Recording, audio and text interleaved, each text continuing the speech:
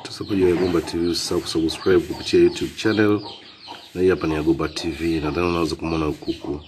Haya ni matatizo ya mfumo ya upumuaji, respiration, respiratory system. Unaweza kuona hapa kama akiwa nakaa hivi, unaona kama kuna kama anapumua kwenda juu eh? Yes, anapumua kwenda juu.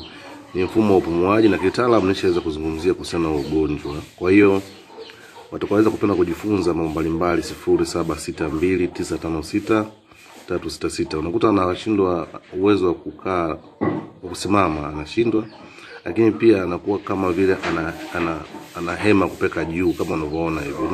Nadhani unaona vizuri mtazamaji wa Gomba. Kwa hiyo ndio vitu kimsingi vya kuweza kujifunza kama wewe unahitaji kujifunza kuwa mfugaji.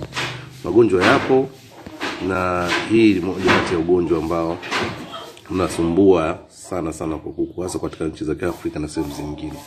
Usisahau kusubscribe kupitia YouTube channel.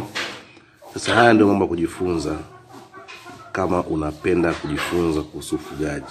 Tunaonyeshana kwa vitendo uweze kuona. Tufundishana magonjwa yote na kuna utaratibu wangu kwa watakaopenda kuweza kujifunza. Lakini ni ugonjwa, unaweza kaona hapo jinsi anavyofanya eh, huyu kuku. Kwa hiyo hata wewe pia unaweza kutana nao ugonjwa na ukileta mchezo wa ugonjwa pia huwa unaua kwa kasi sana, kwa kasi sana mm. Na niseme tu kwamba hakuna utapeli wa aina yoyote, na magonjwa hili natibika. Tunaweza tukafundishana vizuri jinsi yanaweza kufanya. Endelea kuangalia Agomba TV, usahau kusubscribe kupitia YouTube channel, tujifunze kuhusu masuala ya ufugaji wa kuku.